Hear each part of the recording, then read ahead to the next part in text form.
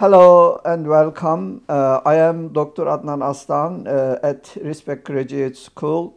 My guest today is Dr. Muhammad Fadel. Welcome, Muhammad Fadel. Thank you very much. So, we are going to talk about the relationship between modern society and Islamic law. So, before that, I would like to introduce uh, Professor Muhammad Fadel. Uh, professor Fadel is a full professor of Faculty of Law in University of Toronto, and Professor Fadel wrote his PhD dissertation on legal process in medieval Islamic law while at the University of Chicago, and also he received his JD from the University of Virginia School of Law. Professor Fadel was admitted to the bar of the New York in 2000. Professor Fadel has published numerous articles in Islamic legal history and Islamic liberalism. So, my first question is about how can you establish the relevance of Islamic law in the modern society? Huh. You should start with the easy questions. so this is a this is an easy question. Oh, well, I think you know people have two different approaches to this question. Yes. And I think both of them are mistaken. The first is to say it doesn't matter whether Islamic law is relevant to the modern world or not. We as Muslims are commanded to follow Islam, and so we should just follow whatever the rules of Islamic law are, no matter what the modern law is, modern world is like. The yes. second answer is to say Islamic law um, is not relevant to the modern world, so we should forget about it right? Okay. My work tries to take a moderate approach. Yes. In which I say, no, Islamic law is relevant to the modern world because we as Muslims have to live our lives um, according to the moral principles of Islam. Yes. But we have to adjust those moral principles in light of our circumstances in the modern world that are different from the circumstances that existed even just 200 years ago. Right? Yes. And so it calls on Muslims our condition as modern Muslims calls on us to take the moral principles of Islam and understand how to apply them in the world that we live in. Yes. So I try to take a middle position yes. between these two extremes. I see. How do you justify your position in terms of, let me say, uh, uh, irrelevancy of the Islamic law uh, with regard to the implementation? Some people would say that. Yeah, well, I say that that again. I don't think you can continue to be a Muslim if you adopt that. Yeah. Because Islam teaches us that how we treat other people yeah. is just as much of a part of our religion as how we worship Allah subhanahu wa ta'ala. Yes. Right? There's a hadith, ad-dinul mu'amala, right? So how we interact with other people is just as important as how we act with interact with our creator. Yes. And in fact, I think we know from our theology that Allah subhanahu wa ta'ala is ready to forgive us for our shortcomings with respect to Him. Yes. But He can't forgive us for what we do to other people. When I we see. wrong other people, um, they have rights that they will collect from us on the day of judgment. Yes. So we have to take very seriously this idea that we have to live in the modern world in a way that is fair to other people, in a way that we can account ourselves before our Creator. And so we have to think about how Islamic morality informs how we interact with other people. We, we can't avoid that. We can't be Muslims simply by praying and fasting yes. and giving yes. charity to poor people. That's, that's not enough. I see. I see. My second question is Islamic state impossible? um, it again depends on what you mean by an Islamic state and what you mean by Islamic law, right? So some people who say that Islamic state is impossible I think they have a very dogmatic view of what Islamic law is, and they have a very dogmatic view of what the modern state is. Um, again, I don't necessarily subscribe to those views because I think that Islamic law is flexible and can be adapted to whatever circumstances Muslims find themselves in based on um, you know, the, the, the, moral, the general universal moral principles of Islam in light of particular circumstances we find ourselves in. Likewise, I don't think the modern state is something that in and of itself is evil or immoral. So, you know, if you believe that modern state is evil and immoral, then the only thing you can do is go find a cave in the mountains Yeah. and, and go live there. But I don't think that is what Islam calls on Muslims to do. You know, uh, Yes. Islam always tells us to make the best of what we can, of what we find ourselves in. So, you know, there's the hadith. I don't know if it's a say, say hadith, but I think it's something that most Muslims hear growing up that um, even if you know tomorrow's the day of judgment, Yes. still plant a tree today. Yes. Right? Yes. And so a Muslim always has to have a positive attitude in life Yes. and to try to do the best that she or he can given her circumstances. Yes. Within the context of the nation state, Mm-hmm. Islamic law is incompatible with the principles of the nation state. Well, it depends what you understand the principles of the nation state are. There are certain ideas, like the idea that the nation state is of unlimited sovereignty yeah. and that all loyalty is due to the nation state. That, of course, is something that Muslims reject yes. because we believe that um, only the only only God is entitled to unqualified obedience.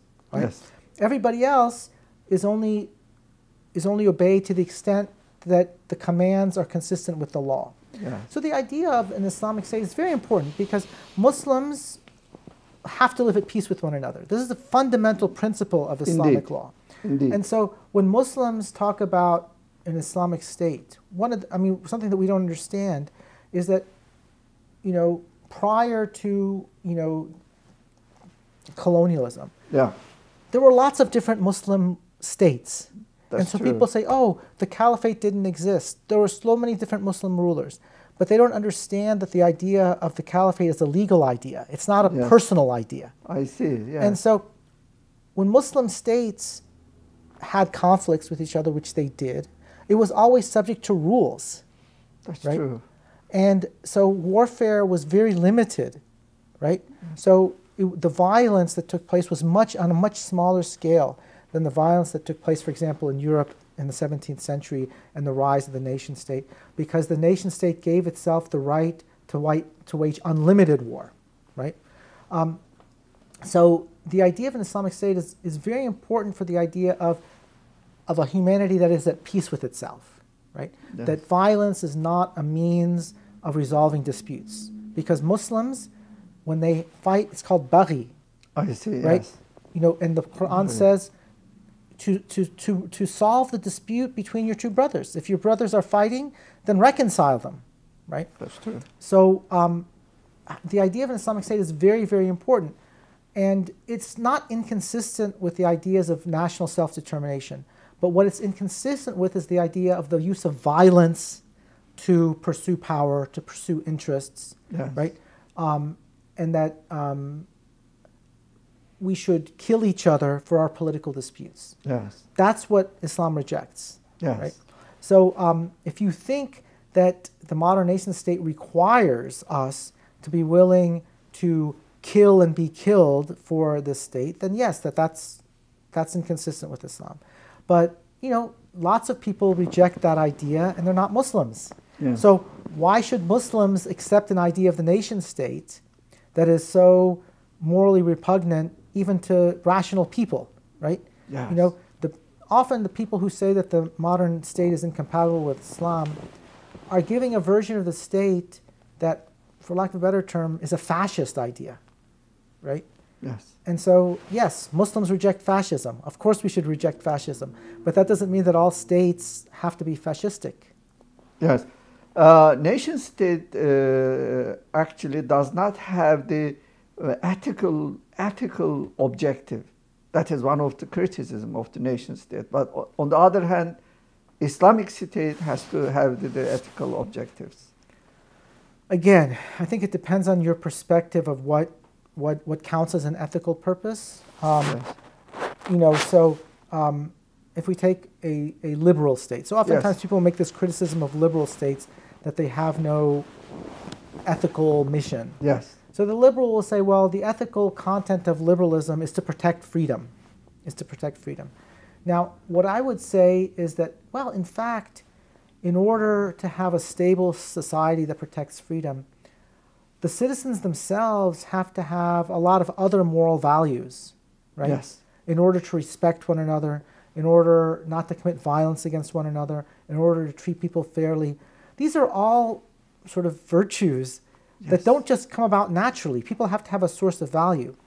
And I think what's sometimes misunderstood is a lot of the classical liberals assumed that the citizens have sources of moral values like yes. religion. Yes. And that that will persist. So even though the state itself doesn't have a particular religion, let's say in liberalism, um, the people do, right? Okay. And the people, because they have their own source of morality, they will respect one another and treat each other fairly and justly, etc. Um, now the problem is, is it really possible to sustain the morality of a community if the state itself doesn't promote it? This is, I see. This is where some of the criticisms of liberalism come about. So some people will say that it's impossible to sustain the morality of liberalism unless the state teaches people. Yes. Right? If the state is agnostic about everything, then the citizens end up being agnostic and nihilistic, right? This is almost the result of the modern society, is so, it not? You know, some people, I think it's a serious question. Like, you know, what I like to say is, um, liberals need to think about how is it that somebody like Donald Trump could be elected president of the United States, right? Yeah. That shows that there was a great moral vacuum in the United States. I see. The fact that somebody like Trump could win, given how, you know, let me just say, immoral of a person he is, right? Yes. It's shocking that people would freely elect somebody like that. You know, uh, the fact that they freely elected somebody like that tells you that there's some sort of serious moral dilemma or moral dil- moral failing in that community, yes. right? You know, the Prophet ﷺ said, "You get the leaders you deserve, more or less." That's that's that's true. And so, if if the American people elect Donald Trump or find him popular, that tells you that there's a moral crisis in the community. That's true. And we need to ask, why is it that we have this moral crisis? That's true. Uh, perhaps it's because of liberalism. Perhaps it's not. Perhaps it's because there's not enough liberalism. I, am not sure, but it is a, it's a, it's an important question because I do think. What is your opinion? What is the cause of this moral uh, impoverishment? I think, I think there's a lot of issues, but I yes. think one is that, um, you know, um, market capitalism has yes. gone out of control. So um, people are being taught to be consumers all the time. Yes. And being a consumer is very different than being a citizen. A consumer is all about that. instant gratification. So the media is constantly sending out messages to the people about how to satisfy their immediate desires. What we yes. in Islam would say, ah al hawa, yeah. ahwa. Yes. Right? But to be just and to be fair and to be a good ruler requires you to restrain your hawa. That's true. And make and think about long-term decisions. So a democracy requires the people to act as citizens. Yes. And so a citizen has to be able to restrain himself, control himself, think about what's best for himself and others, right? Yes. But um, popular culture is constantly undermining our capacity to think about what's best for ourselves. It's just constantly encouraging us to pursue short-term gratification. Indeed, yes. Right? And if that's all it's about, then you get somebody like Trump who's an entertainer, who's very good at manipulating people's passion. Yes. Right? Yes. Yes. Uh, my another question is uh, how can you justify inequalities regarding men and women, believers and non-believers in Islamic law? um, well, I'm not sure how much I justify them or, or not justify them. So, do you think it is a there are some there are some there are some inequalities that are expressly in the Quran. Yes. Um, and some that aren't. Yes. Right. And we have to explore each one on its own, right? Um, so. Let us take inheritance. Right. Well, historically speaking, right, um, Muslim women were exempt from lots of the obligations uh, fi- particularly financial obligations that uh, bound men, right? So it's kind of easy to understand uh, why men, and it's not all men, it's only some men, get more in terms of inheritance than a similarly situated woman. Um, so a son gets twice as much, a, a, brother gets twice as much as his sister, right? Um, but sisters and brothers share equally. It's yes. interesting. So it's not, a, it's not always the case. But um, again, I don't know about other madhabs, but in the Maliki madhab, for example, um, men are always required to make financial contributions. For example, when, you know, if my brother, you know, um, runs over somebody with a car and kills that person, then in Islamic law, not only my brother has to pay for it, but the whole, all the yeah. all the male kin yes. have to help him. Yes. But the women are exempt. Oh, I see. The women are exempt from that obligation. Only I the see. men, right? I see. Uh, you know, the husband is obliged to spend on the wife, but not the other way around. You know, in the Hanafi madhab, the, the, the, the, the father is always responsible for his, his, his daughter. So if the daughter gets divorced, she goes back to the, the father, and the father is responsible for her. If, you know, if my sister gets divorced, I have to take care of her in the Hanafi system. So men generally have much bigger financial contributions, responsibility uh, than women do. Um, so my colleague uh, Azizah Al Hibri, who's a, a, law professor or retired law professor, she's Lebanese, she pointed out that in inheritance, women get their share net, mm. while men get their share gross.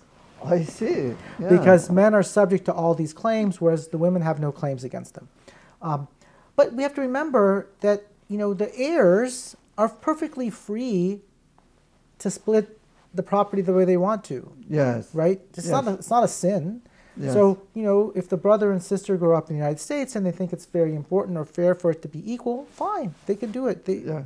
Right? And then in Islamic law also, um, you can have what's known as inter vivos gifts. Yes. So I can give gifts to my children as long as I'm alive. Yes. And when I do so, I'm supposed to do it equally. Yes. Right? So I'm supposed to give my daughters the same amount as I give my sons, right? Yes. So there's not it's not a it's not a principle of inequality for the sake of inequality, right? Um, it just happens to be that in this case, when the person dies, then at that point in time, it's distributed in that way. Um, as I said, against a background where women didn't really have the same financial obligations as men did, right? And you know, there's no prohibition against treating them e equally during your lifetime. In fact, it's, it's recommended. So, uh, another example um, in Islamic law, we have this institution known as the waqf, waqf. a trust. Yeah. And so, Muslims used to oftentimes distribute the bulk of their estate in the waqf.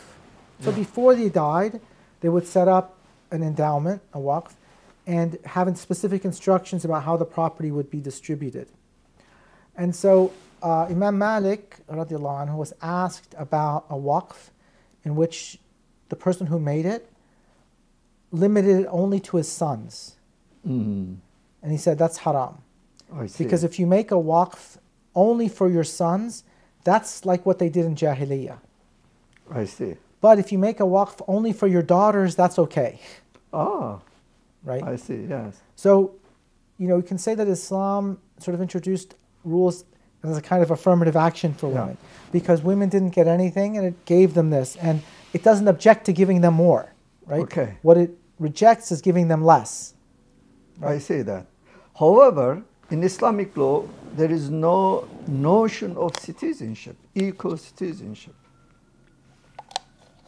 Am i right? Um, well it's sort of hard to talk about that because citizenship in many ways is a modern idea so it's kind of anachronistic to talk about equal citizenship. So what do we mean by equal citizenship?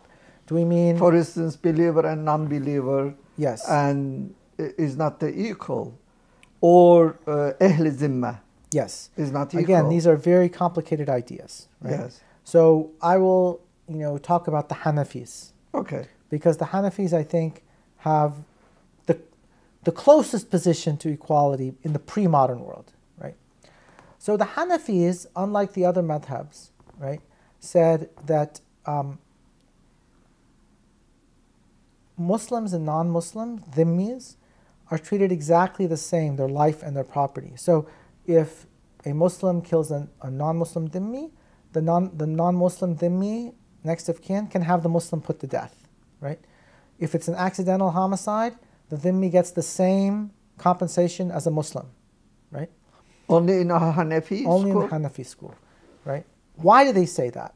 It's Yes. important to understand the reasoning, because I think the reasoning that they give gives us a way of understanding equality in the modern world. They said that human beings consist of sort of there are two aspects to the human being. Okay. One is spiritual, Yes. and one is is material. Okay. The spiritual aspect is reflected in our relationship with Allah subhanahu wa ta'ala. Yes. Right? And in that dimension, we're not equal. Of course. Because some of us are prophets, some of us are saints, some of us are sinners, etc. But that's for the next life. Not this one. Allah subhanahu wa ta'ala will judge us on that dimension in the next life. Our true humanity is in that dimension. But fiqh protects our existence as bodies, as things. I see. Our thingness, our thinginess, is derivative of our true humanity. Our true humanities are spiritual. But our body is also real, but it's secondary, right? But insofar as we're all human bodies, we're equal. Yes. We're all weak. We're all, you know, we all bleed if we're cut. We all need food to eat. Uh, we all need to have families to reproduce. Yes. This relates to our existence as bodies, as physical things. And so the law needs to protect us equally as physical things, right? Yes. And so they called this, right? This is the, that's the dimension where law really operates. So law protects us in our capacity as physical objects, not as spiritual beings, right? Yes. So from that perspective, we're all equal, right? So I think when we think about that division, which you can think about the division between the spiritual and the political, Yes, I like can, that. You can That's justify very- the very idea good. of political equality among all people despite their religious beliefs. Because everybody has an interest in having security I in this life, right? Yes. So, um, so I don't think again that there's a kind of obligation to treat non-Muslims as unequal under Islamic law. It's just that you know citizenship wasn't the pre- prevailing ideal, um, and you know again the assumption, particularly when these rules were created, Yes. Muslims were a very small minority. Okay. uh, you know, it was only over time that most people had converted to Islam. So, you know, in societies where 90% of the people are Muslims, what's, what harm is there in giving non Muslims equal political rights as Muslims? They're not going to threaten Muslims with it. Yes, you are talking about the historically Yeah. that was the case, but let us imagine in the future. So there is an Islamic state. Yeah. So there there wouldn't be any kind of equal citizenship, is it? Well, I'm, that's what I'm saying. There should be. Should be. I yeah, say. based on Hanafi rules, and I'm saying change circumstances, right? I mean, why should I? Why do? Why would I think that Abu Hanifa and Malik, etc., would have the same view in a society where 95% of people are Muslim, as opposed to a society where only 5% are Muslims, I see. Yes. right? Yes. So, yeah, they said non-Muslims can't testify against Muslims, but that was in a time when 95% were non-Muslims. I see. Right? I see. Yes. right? So um, times change, Yeah. and um, you know we can have a different we can have a different view of things. Okay, so this question is related with the when the time changes, whether the the rules would change. Do you believe that the punishments proclaimed in the Quran, hudud, should be implemented? You're really getting at sensitive points. Yes, this is most uh, I find very well versed professor in the Islamic law. These are the great questions. People Well, thinking about that. So you know, I again, need to I ask think this. I think this is one of these issues that have a lot of symbolic value to Muslims, Okay. but aren't practically very important. And the reason for that is if you accept what the fuqaha say, Yes. The rules that the fuqaha developed were kind of intended to make sure that these penalties are never applied. So I know we spend a lot The of penalties should be there, but never applied. Yes, Are I mean, that was basically the position of the fuqaha. I see. Now, the problem is that a lot of contemporary Muslims sort of feel that Islam isn't being applied unless we do this, right? Okay. So there's a kind of, for lack of a better term, fetishism Okay. about the hudud. That the only way you can prove commitment to Islam is if you chop hands off or if you stone adulterers. If you don't do that, you're not really Muslim, right? Among in, in the views of certain people. Um, but I think actually, if we were really serious about thinking about what an Islamic state would look like in the modern period, we have to be much more concerned about other crimes. So the, the jurists talked about two kinds of crimes: the hudud, which are, you know, the ones you're asking me Yeah. about. Um, and, I, and, and as I said, those are more theoretical problems than actual problems because the rules of the fiqh make it almost impossible to apply them. But there's a whole other set of crimes, like everything else. Those are called ta'zir, discretionary penalties. Now, those are too easy to apply. Hmm. I see. And the reason for that was again because in the pre modern world, the state was very weak, Yes. very weak. And so long. Is it positive or negative?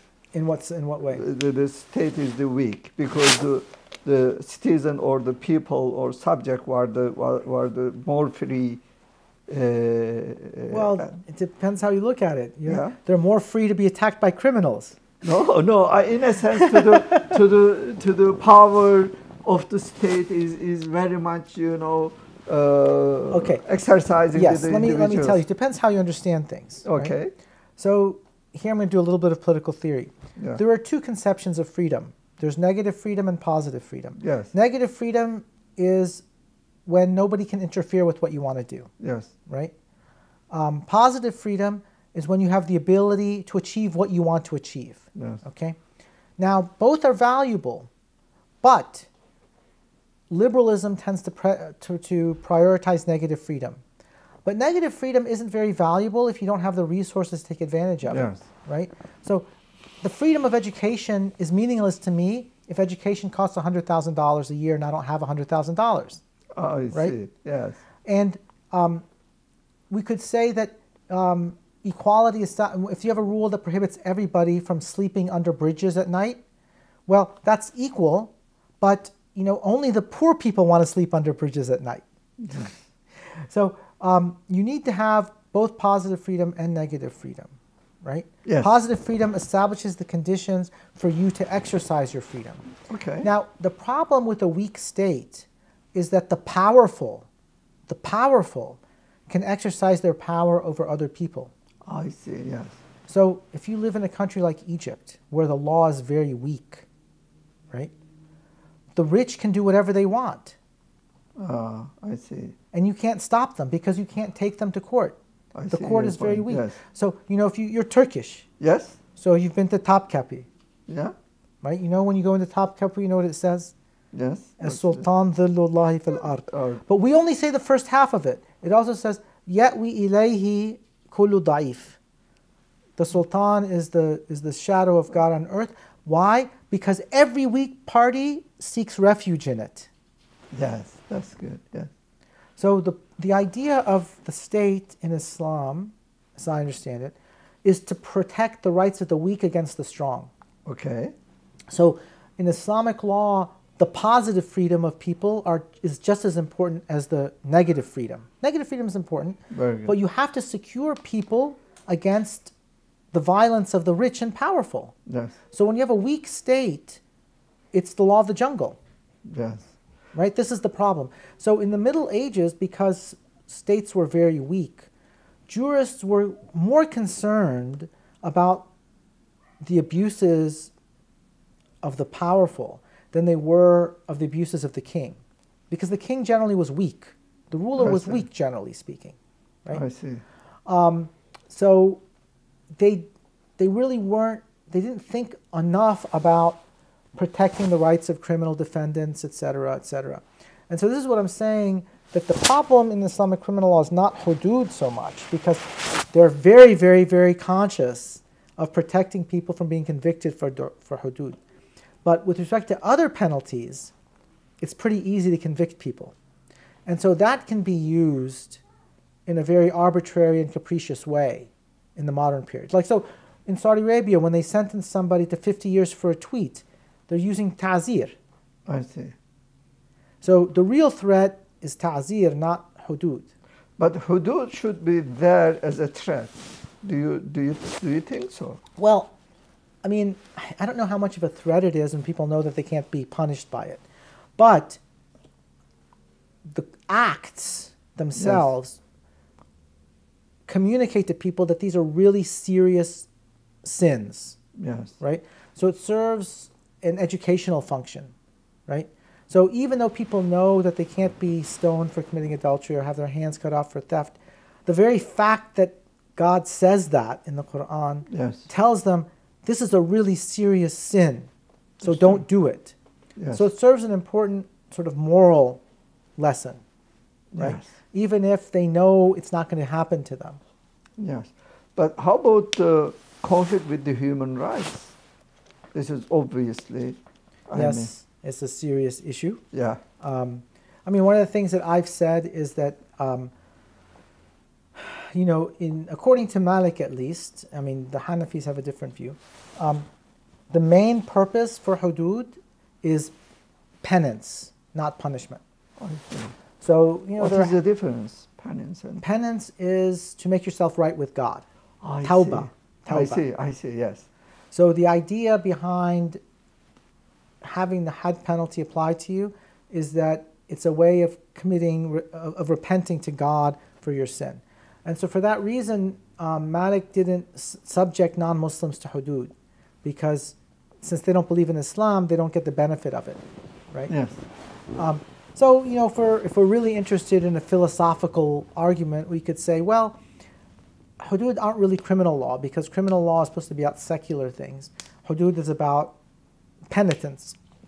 Yes. So it should be, you know, we could say that if somebody insists on having the hadd applied to that person in order to repent, that that could be consistent with that person's own religious freedom, right?